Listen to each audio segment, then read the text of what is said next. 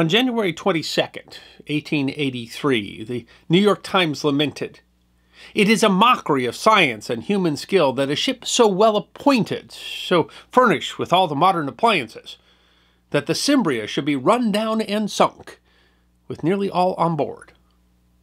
Before there was RMS Titanic, there was SS Cimbria, and the victims of the Cimbria disaster deserve to be remembered. SS Cimbria was built by the Scottish shipbuilding and engineering firm Caird and Company, based in Greenock. The 3,037 ton packet steamer was iron hulled, 339.9 feet long with a beam of 40 feet. She had three decks, six bulkheads, and seven watertight compartments. The ship's five boilers drove a single screw, and she also included two sailing masts, common in this period and useful to a ship operating in the windswept North Sea.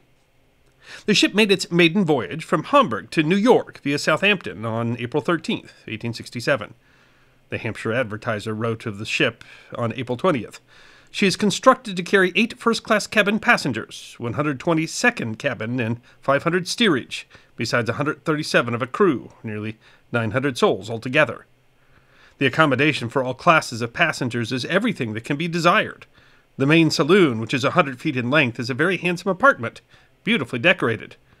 The accommodation for first class passengers is of a luxurious description, and due regard has been paid to the comfort of other classes. The second class being better provided for on this noble vessel than first class passengers used to be in former days, not very long ago. In fact, a voyage across the Atlantic on a steamer such as this is robbed of half its terrors. Serving with the Hamburg America line, Cimbria was fast. The Chicago Advertiser wrote in June 1867 the shortest passage yet across the Atlantic has been made by the new German steamship Cimbria. Reporting that Cimbria made an average speed of 326 miles a day, the advertiser rated her faster than SS Persia, the Cunard liner then generally considered to be the fastest in the world. Cimbria continued the Hamburg to New York route for a decade, but in 1878 became the focus of a mystery and possible scandal. At the time, a diplomatic row was leading to the threat of war between Russia and England. The Cimbria was chartered by Tsar Alexander II. She went to the Baltic, where she picked up men of the Imperial Russian Navy on, on April 30th at 7 o'clock in the morning, arrived at Southwest Harbor in Maine. Exactly why the ship was there was unclear. According to a May 1878 edition of the Boston Globe, the ship's captain, named Badenhausen, professed utter ignorance of the destination of the vessel or men. He said the boat was chartered by an agent of the Russian government and was under orders of one of the cabin passengers, whom the Globe reports has the bearing of a naval officer and is a Russian. The speculation was that the Cimbria was being outfitted as an auxiliary cruiser act as a privateer or blockade runner should the nations go to war.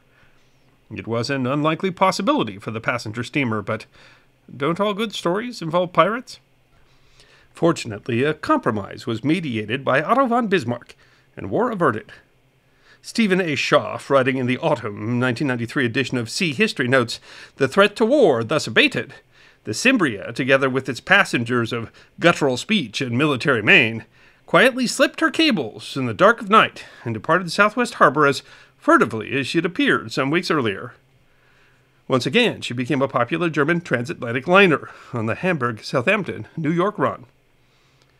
The mystery faded from the news, but SS Cimbria would find its way back into the headlines. On January 17, 1883, Cimbria left Hamburg, bound for Le Havre, France, and then on to New York.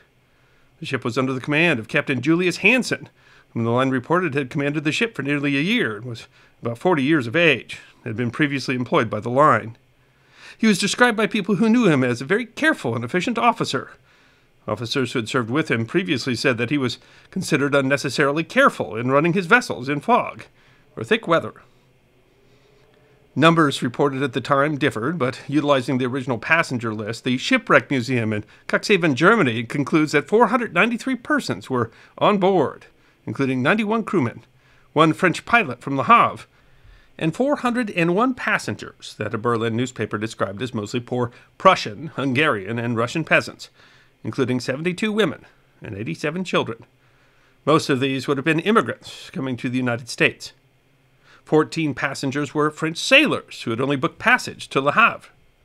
The ship was also carrying a group of Chippewa Indians that had been touring Europe, displaying Wild West paraphernalia. The New York Times reported that the Chippewa were supposed to have left on an earlier steamer, but their departure had been delayed because of the illness of one of their party. 141 years ago today, on January 19th, Cimbria was in the North Sea, northwest of the German island of Borkum. A passenger would later report that the weather was clear up to 1.15 o'clock, but a fog set in which continued and increased in density. The engines of the Cimbria were kept at full speed until 1.30 o'clock, and then at half speed until 2 o'clock, after which they were kept at slow speed. The slower speed was intended to reduce the chance of collision, but as the ship's second officer would later testify, the ship steered badly when going slow. The passenger reported at about 2:10 o'clock the whistle of another steamer was heard, and the engines of the Cimbria were stopped instantly. The whistle came from the British passenger cargo steamship SS Sultan of the Hull and Hamburg line. Built by C&W Earle Shipbuilding of Hull, Sultan had been completed in 1867. 239 feet in length, at 1,025 gross registered tons, the Sultan was much smaller than Cimbria, carrying no passengers and a load of coal. The captain of the Sultan, named Cuthill, reported that the Sultan had made an unusually rapid passage and sighted the Borkum Light between 1 and 2 o'clock Saturday morning. The weather was hazy and soon after became very foggy. The engines were eased to a dead slow, and the steam whistle was kept sounding every few seconds. The captain and first officer were on the bridge, and two of the hands were looking forward. Suddenly, the green and masthead lights of a steamer were seen two points on the starboard bow. The witness aboard the Cimbria stated that the Sultan's green light was, owing to the fog, not observed until she was only 150 feet off the Cimbria. There is some confusion over exactly what happened next. Captain Cuthill reported that he thought the approaching steamer would keep her course to go clear. It was noticed, however, that she suddenly ported and came around rapidly. It was too late to do anything but reverse, which was done, but by the time the engines had revolved once, the captain noticed that the other steamer's port light coming round rapidly towards the Sultan it became clear that the vessels would collide. A court of inquiry later determined that the collision occurred while the Cimbrian was turning to the right and the Sultan to the left. A survivor aboard Cimbria reported that the ship was struck abaft, the first collision bulkhead, on the port side, and she heeled over starboard and speedily sank. Cuthill reported that there was great consternation aboard the Sultan, as it was feared that so much larger a vessel would sink her. Investigation later determined that the Cimbria was struck 40 feet from her bow after making a breach. The Sultan scraped along the Cimbria and completely rolled up her iron plates. It is evident, the report reads, the blow must have been a tremendous one. A dispatch from Hamburg reported that several persons were killed by the collision itself, owing to the flying about of splinters and planks. A report in the Salt Lake Herald said that the Cimbria sustained such severe injuries in the collision that it at once became apparent she must sink almost immediately. The officers, therefore, did all in their power to save lives. The New York Times recorded the story of survivor Fran Pliska, a young bohemian who said he was a steerage passenger on the Cimbria. Pliska reported that he was awakened by a loud crash and the screams of women and children. He jumped out of his bunk and saw the water rushing between the desks.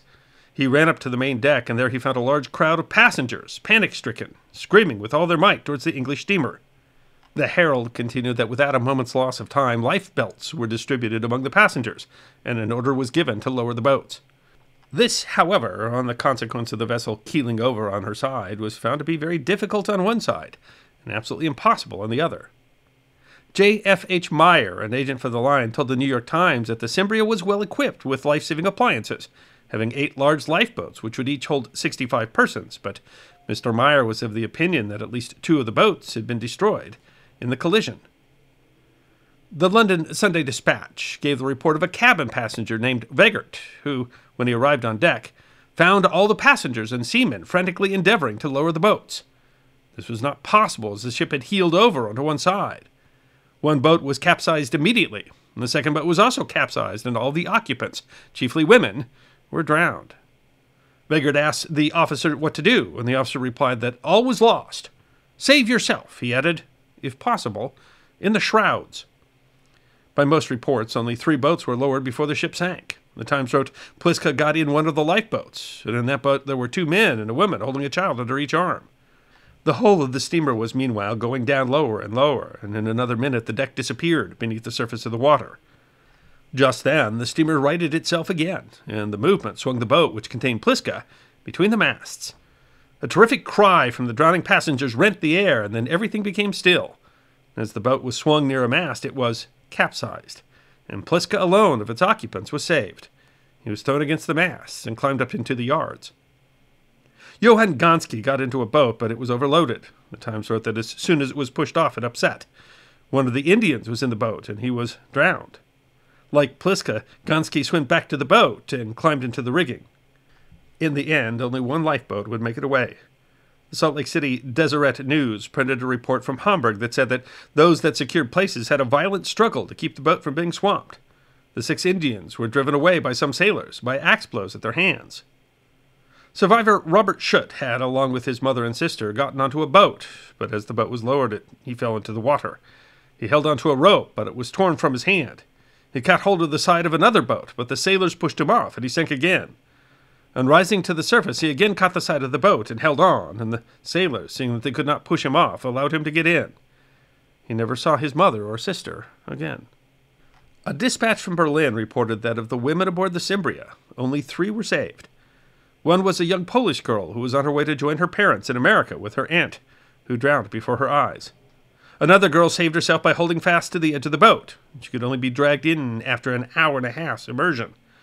The dispatch reported that up to the last moment the survivors endeavored to rescue all they could, but as silence came on, they found no more alive, but only met occasionally with the bodies of the drowned. The crew had distributed life belts, and the crew had even cut the ship's spars to create more wreckage that passengers could cling to.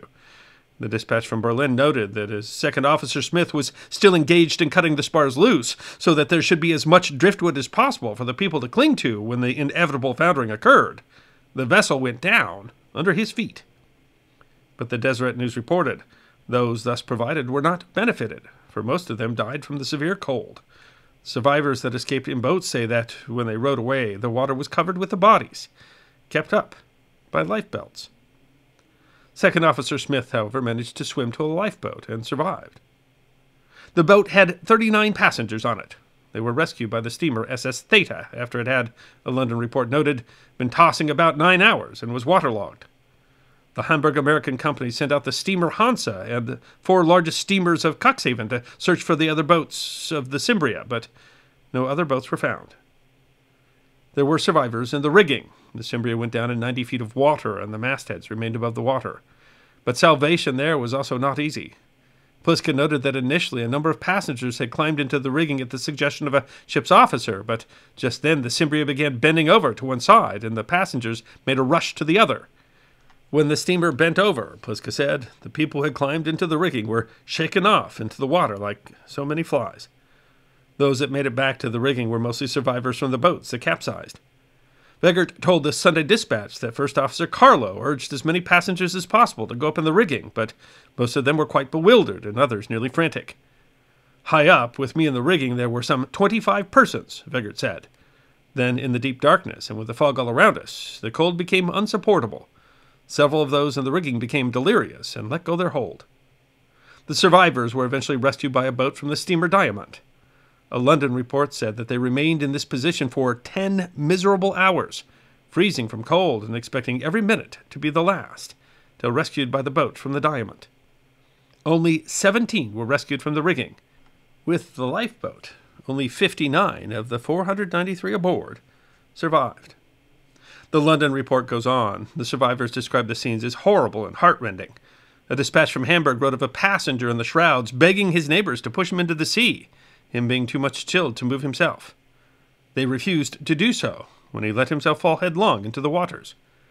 An elderly woman holding her Bible in her cramped hands and singing loudly funeral hymns was washed away from the deck. Two girls belonging to the Salvation Singing Troupe, having secured life belts, swam around frantically crying, Help! Help! Save us! The people in the rigging replied, Come to the rigging! We cannot move! The girls, half benumbed and unable to swim, cried out for the last time, We cannot come! And disappeared beneath the waves. The New York Times wrote that a Hamburg correspondent narrating incidents which occurred on board the Cimbria after the collision says the tumult on board was indescribable. One married couple cut their own throats in order that they may die together. The ship's surgeon encouraged those in the rigging to hold fast, but several became delirious and let go their hold. Surgeon Mueller subsequently leaped into the sea, saying that he would make an end to it. The dispatch from Berlin noted some of those lost. Christian Bohm and Joseph Goots, Americans, are missing. A rising young German writer, Leo Habermann of Vienna, who was well known for his excellent descriptions of Russian life, and the Sisters Romner, professional singers well known as the Swabian Nightingales, who had recently been performing in Berlin, perished. Berlin suffered greatly by the disaster, with six families having lost their breadwinners. A subscription was opened for the benefit of the sufferers. Deaths among the crew included Captain Hansen, who reportedly stayed at his post until the end. He left behind a wife and two young children in Hamburg. Vegert said that Chief Officer Carloa disappeared beneath the waves doing his duty, and that Chief Engineer F. Alpen showed Bengal lights until the sea washed him away. Many of the survivors expressed outrage at the captain of the Sultan and his crew they thought should have stopped and rendered aid, but Cuthill testified that his own ship was so damaged that it was in danger of sinking itself, that the damage meant that it couldn't move forward, and that he didn't know that the Cimbria was as damaged as it was. He didn't know that it had foundered until he returned to port. A court of inquiry absolved Cuthill and his crew of any wrongdoing. Cimbria sunk in less than 15 minutes. The New York Times lamented, For all our boasted advances in science, in mechanics, in engineering, we are as far from ever from making ocean voyages safe. That sentiment would still be true 29 years later, in 1912. And yet, while we remember the sinking of the Titanic, the sinking of the Cimbria is today nearly forgotten. The sinking of the Cimbria, the Titanic of its time, made newspapers worldwide when it happened, but today is so forgotten that as of the production of this episode, it doesn't even merit its own page on Wikipedia.